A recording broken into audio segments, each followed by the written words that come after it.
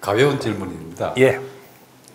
우리 요즘 이제 세태가 많이 변화해가지고 뭐 대통령실에서도 이렇게 반려동물을 많이 키우고 이런 세상이 됐는데 저 개인적으로는 원래 집안에 이제 이렇게 반려동물을 키우는 그런 체질은 아닙니다. 이렇게 바깥에서 키우는 그런데 엊그저께부터 이제 고민이 하나 생겼습니다. 제가 옆에 판교에 이제 단독주택에 사는데 계단 밑에서 밤에 딱 소리가 나서 가봤더니 길고양이가 새끼를 몇 마리를 낳았나 봐요. 그리고 오늘 아침 추석 아침부터 집안에 이제 이렇게 이벤트가 됐는데 그러니까 그 새끼 고양이가 이렇게 낳는데 이게 이제 고민이 생겼습니다. 원래 제 그러 가면 뭐 생태계니까 길고양이니까 놔두면 되겠지. 근데 문제는 어미가 어디 가서 없은 안 나타나요. 그래서 아침에 이제 이렇게 뭐 생선하고 뭐 밥하고 이거를 하는데 새끼 고양이니까 먹지는 못하고 이제 물도 못 먹는 거니까 어쨌든 집에 가면 뭐 분유라도 태워서 줘야 되는 건지 뭐 이런 생각을 가는데 제가 이제 질문 드리고 싶은 거는 반려동물에 대한 우리 인식이 좀 어떤 방향으로 가야 되는지 이제 정보 공부를 하다가 보니까 우리 인간적인 걸 많이 생각하는데 동물에 대한 인식이 어떻게 해야 되는지 그래서 한번 여쭙고 싶어서 질문 드립니다. 아, 생활 속에 아주 뭐 그 그 좀 무게 있는 거 말고 단순한 걸 한다 해놓고 엄청난 무게를 지금 줬거든요. 어, 우리가 반려동물을 우리가 갖춰야 하는 것은 외로운 증거가 나타나는 겁니다. 우리는 사람끼리 살게끔 태어난 거예요. 2차 대전 이후로 태어난 우리는 사람과 사람이 할 일을 하라고 태어난 겁니다. 사람과 사람끼리 할 일을 잘하면 어떻게 되냐? 사람이 외롭지를 않고 재밌어요. 신나고. 그러면 우리 개를 집 안에 들였을까요? 안 드립니다. 절대 그렇게 안 됩니다. 내가 외로워지니까 외로워 사람이 내 옆에 없으면 동물이라도 끌어였는 거예요. 그 인간의 본능입니다. 어. 내가 외로우니까 말하고 갖춰지고 말하고 놀고. 어. 그럼 말하고 놀라니까 좀 경제가 좀 개안해야 돼요. 어. 근데 개를 그렇게 하는 건 경제가 좀 약해도 그렇게 할 수 있어요. 고양이를 그렇게 더 약해도 할 수 있어요. 반려동물을 어 이렇게 어 그 이게 그 같이 갖추고 하는 사람들 집안을 보면 어 집안에 어떤 환경인지 반려동물 보면 대박 알아요. 응. 이렇게 반려동물하고 계속 같이 있도록 시간이 오래 가면 어떻게 되냐? 네 남편은 개밥입니다. 개밥 아 그것도 좀 약간 개밥의 도토리입니다. 왜? 이 개보다 모나니까 내한테. 개는 내가 조금 스트레스 받치잖아요. 이한테 톡 테리도 우! 이 개는 또 좋다 그래요. 나한테는 그래 안 하거든요. 아, 그러게 여기 여기 지, 지, 이게 지금 남편처럼 그렇게 했다면 이거 징그러워서 내삐를 푼다.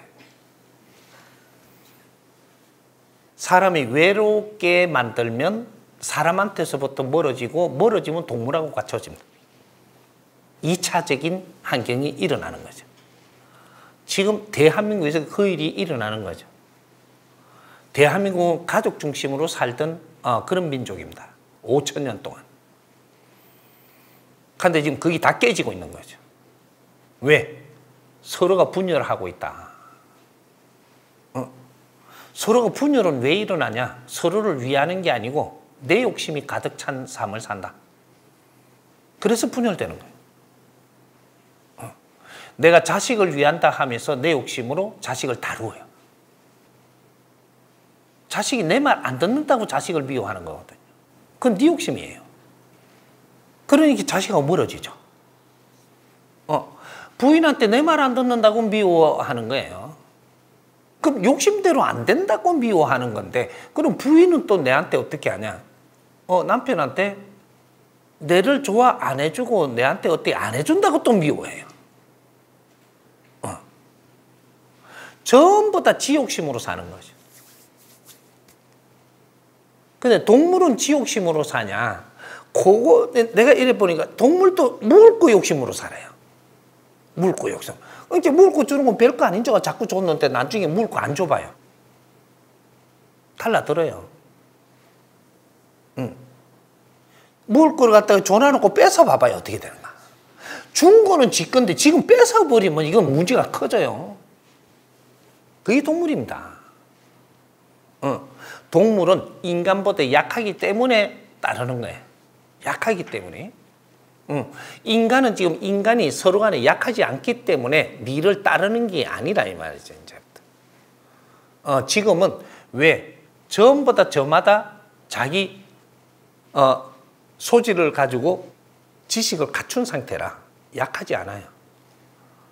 어, 그래서 누굴 따르지를 않아요. 음, 따르지를 않는데 어떻게 하면 우리를 따를 수 있을까? 내가 말을 한마디를 해도 저 사람이 이해가 딱 되도록 하면 따라요. 어, 말을 했는데 이해 안 되도록 하면서 하, 말귀를 못 알아듣네. 이까 멀어져 버려요. 말귀를 못 알아듣는다고 해. 그럼 당신하고 멀어질 수밖에 없는 거예요. 내가 말은요, 내가 말을 하면 저 사람이 이해되도록 해야 되는 게 말이지. 저 사람이 이해도 안 되도록 말을 했으면 적을 만드는 거예요, 지금.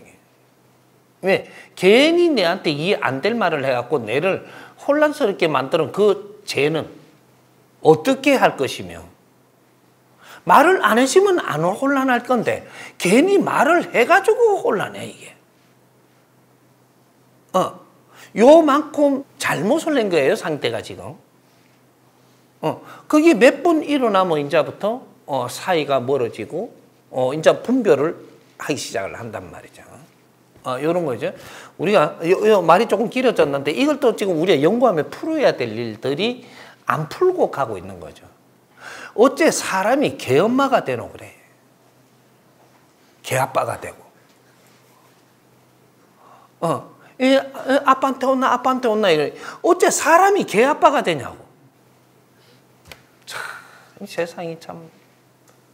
어, 자식은 멀어지고 개는 갖춰지고 잘한다. 어, 또 동물원에 가서 살아야지.